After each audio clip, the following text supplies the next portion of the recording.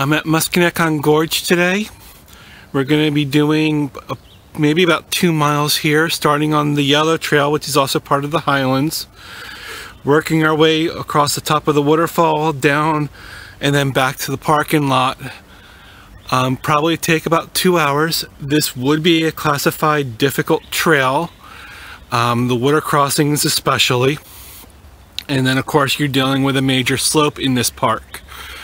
Um, with that being said, we'll get started.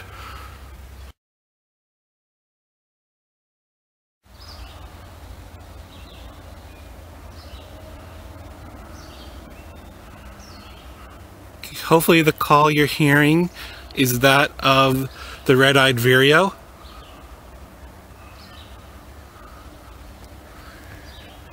It's often compared to the sound of the robin. What I hear is a game of hide and seek going on with the bird saying, Here I am, where are you?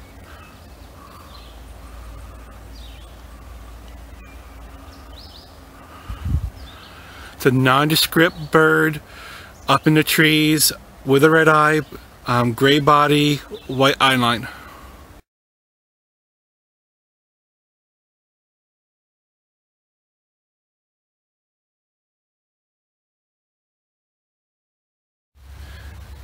Back in the Sourlands walk, I talked about Mayapple, poor man's umbrella. Um, it's now in the middle of May, or I should say two-thirds of the way in May. And there's some Mayapple here in the park, and I'm just showing off what one of the flowers looks like.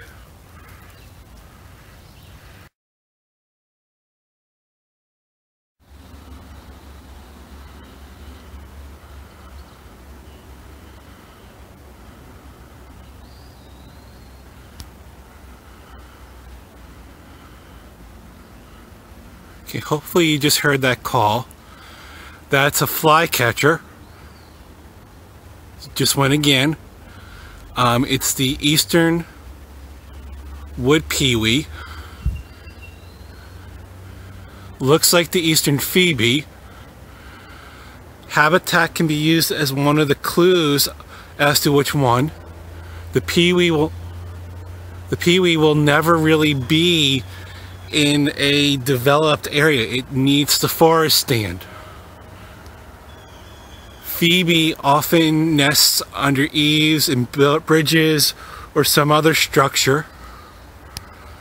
Um, they look very similar, the pewee being a bit more drab.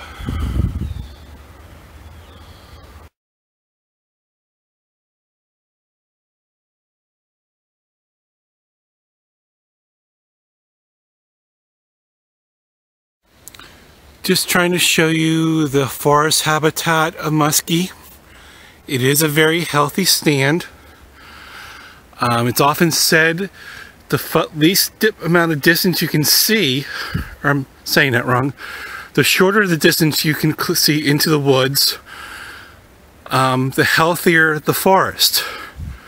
Muskie has a very strong herb layer plants that grow up every year and then die back. There is a shrub layer, small trees, and then the upper canopy. You kind of break it up into a four-story structure, so to speak, with the various layers. And again, the herbaceous and shrub layer give it clear indication, really, to the strong health of the forest. Um, because again, deer and other animals um, even some exotic plant material destroy the ground floor and then we're left with a very open forest not providing much habitat for the wildlife. Here that's not the case. All the levels are here present and very strong.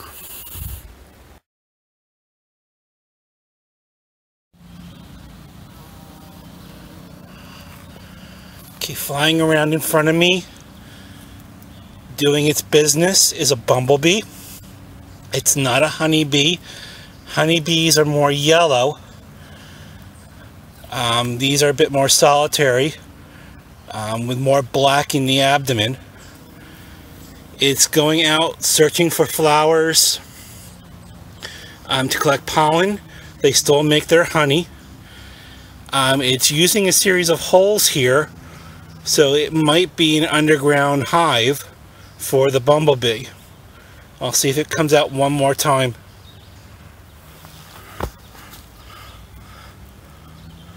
But again, that's the hole. Um, there's some old flowers here laying on the ground, but I'm assuming it's going after some other things. Um, but I don't see it coming back out.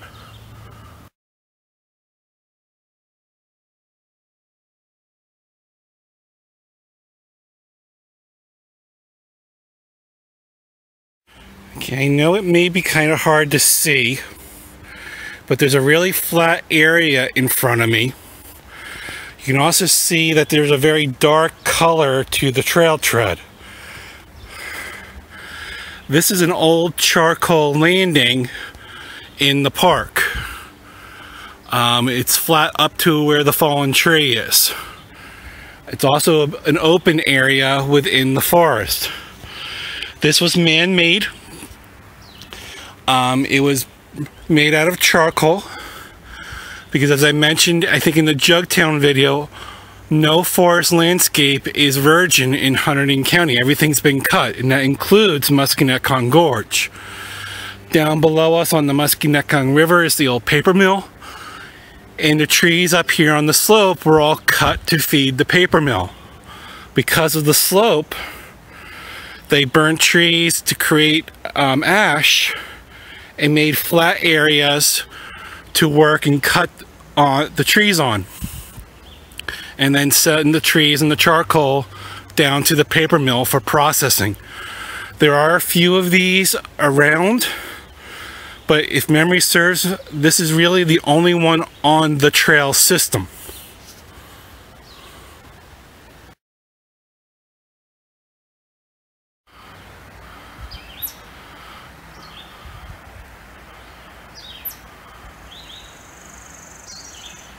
Okay, hopefully you just heard that sound. Um, there's a couple other things calling. Chipmunk. Red-eyed vireo, but that dry trill is actually one of the warblers people go out searching for called worm-eating warbler.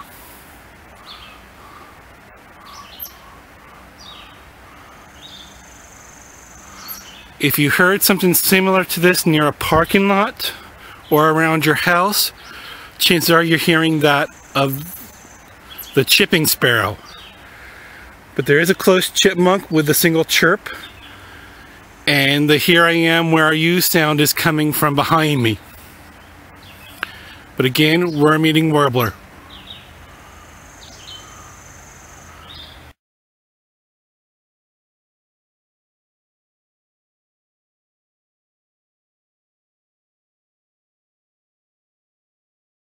Okay, this little sapling in front of me is one of the common trees throughout Musconetcong Gorge.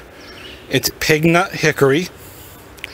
I'm picking on this one because hickory trees are actually one of the compound leaves.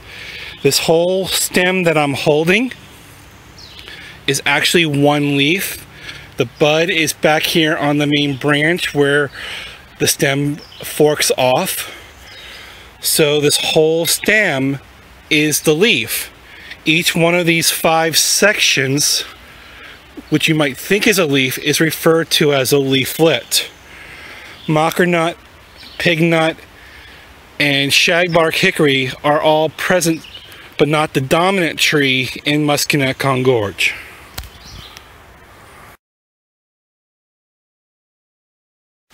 Okay, this is the creek that first creek that runs through Musconetcong Gorge. There is a second, about three more miles out.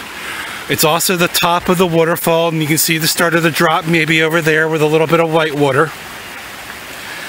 But this is a intersection. The blue trail is off to, the, I'm sorry, the gas line road trail, the flagged blue is off to that point in front of me, if you can see the steps, is the continuation of the ridge trail the Highlands Trail. I won't be going that way, uh, not because of the slope, but a time factor. You would add about another two hours if you were going to go out all the way to the switchback to do a loop. And then you've got about an 800 foot elevation change. But again, this is one of the more challenging spots because we do have to rock hop or wet foot it to get across the creek. Um, so you do need to be aware of that um, when you come in.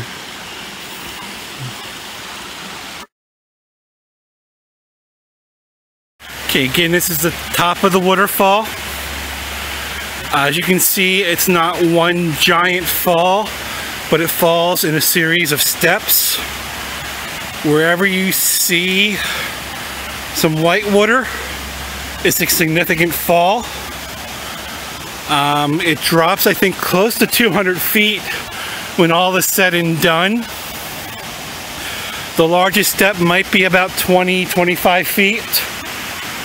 It's a beautiful area, nice and serene. Um, best flowing after we've had some rainwater to give it a, a recharge, but there's always some kind of water moving here. The creek, I don't think has an official name because of an old interpretive trail that's been let go years and years ago. Um, I do know in-house we refer to it as Scout Run.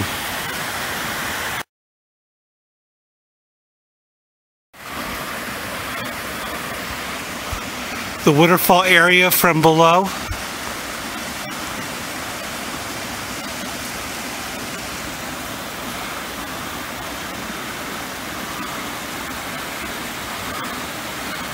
Again, pictures are not will not do it justice. To hear the water and be here is a different thing.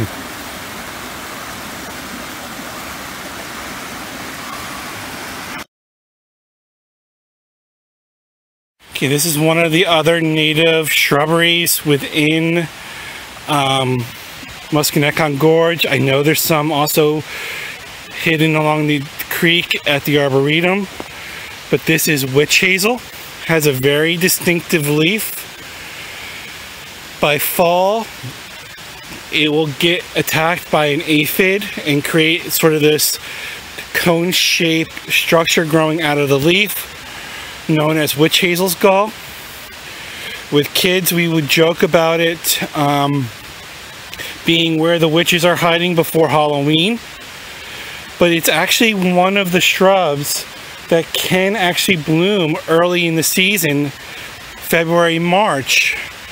Um, so it does have a little bit of mystery to it. But again, it's just one of the broader leaves you might see along your trail hike at eye level.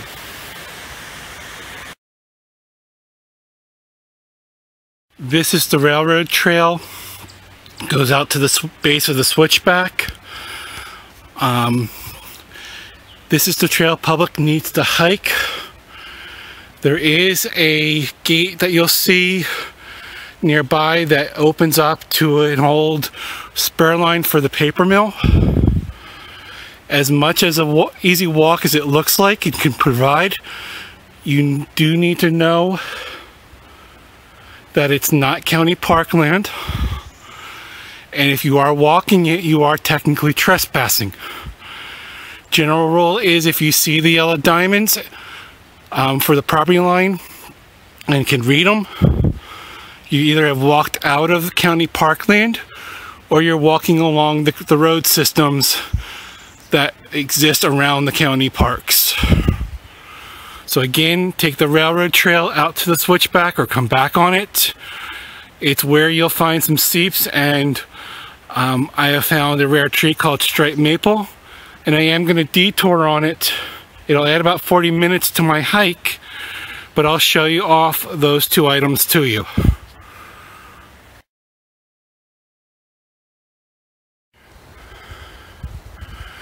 This is one of the seeps within Musconetcong Gorge.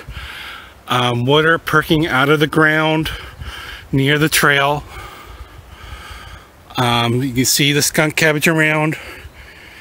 In the right time of year, I've had some luck hunting amphibians here. It's a little later in the season.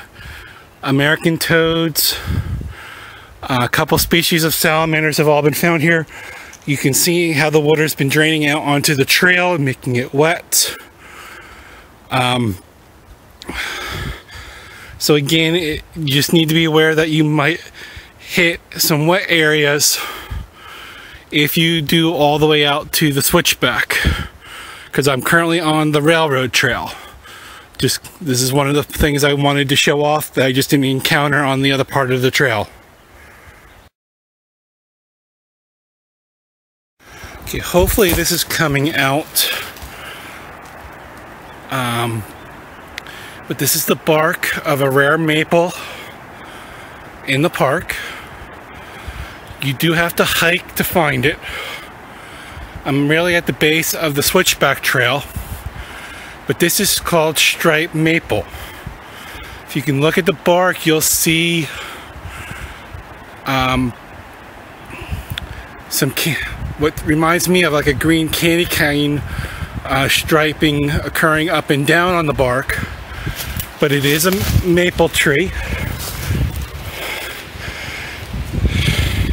Here's what the leaves look like and again the opposite branching structure of the tree.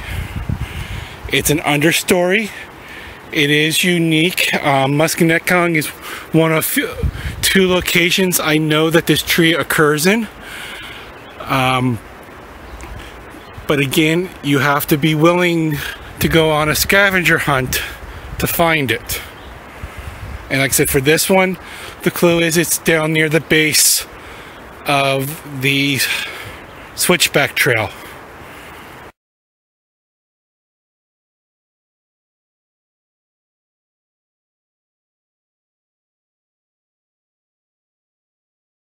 Okay, this is another understory tree that you might find in Musconetcong Gorge. It has a very peely bark. It's not common, but when you see it, it should stand out. But this is elm. One of the easiest ways to identify elm is when you look at the leaves, the base of the leaves um, to the stem don't meet up. One side extends a little bit longer than the other, plus it's a very serrated leaf when you see it. Um, again, this has been pushed into the understory um, the Elms disease, way back when that was brought over from Europe in the colonial days, did a major number on this tree. Usually what happens, they, they live 50 to 70 years, and then they die back with the young saplings slowly replacing. They'll never really take their full presence in the forest again.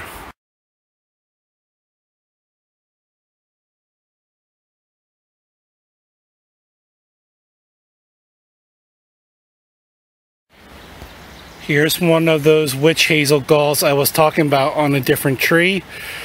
Um, again, it looks like the point of the Wicked Witch's hat sticking out of the leaf. But inside it, um, insects are growing, living off the nutrients that are generated by the tree. Okay, this is the bottom creek crossing. Again, you have to rock walk. There is a bridge for one area. Again, um, there's a slope on the other side. It's just an area that, again, you need to be wearing proper footwear for and just take your time as you move through it. It's not the easiest of trails.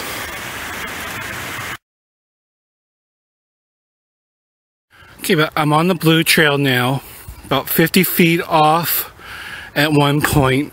There's at least two that can be found is a unique root structure for the black birch tree. What happened was initially the seed landed on top of a stump and germinated.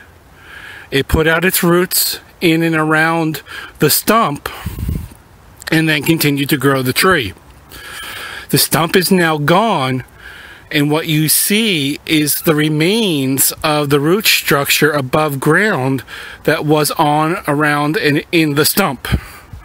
It's something unique to birch trees that I know. I don't really see many other trees doing this except for a little bit of extended growth on the surface or in rockier areas where they're pushing into the ground from where the seed fell. But to be above ground, black birch is the only one that I know that does it.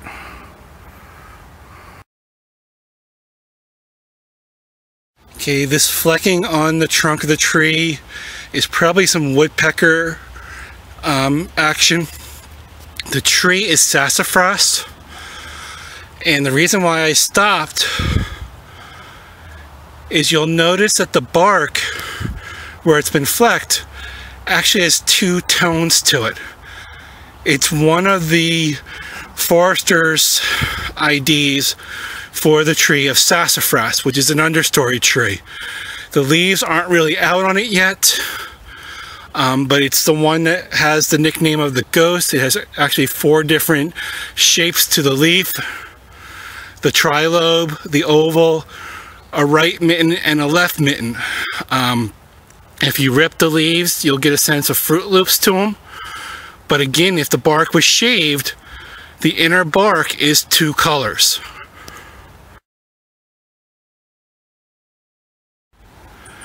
This is the spur off the Blue Trail. It's a one-way trail to Bellis and Cypress Road intersection. Um, if you do the hike, you need probably an hour one way and then to return another hour. Um, it's a relatively new trail, about two, three years old now. Um, I really can't speak much about wildlife on it because I really haven't done it enough yet. So it's a new trail to explore on your own.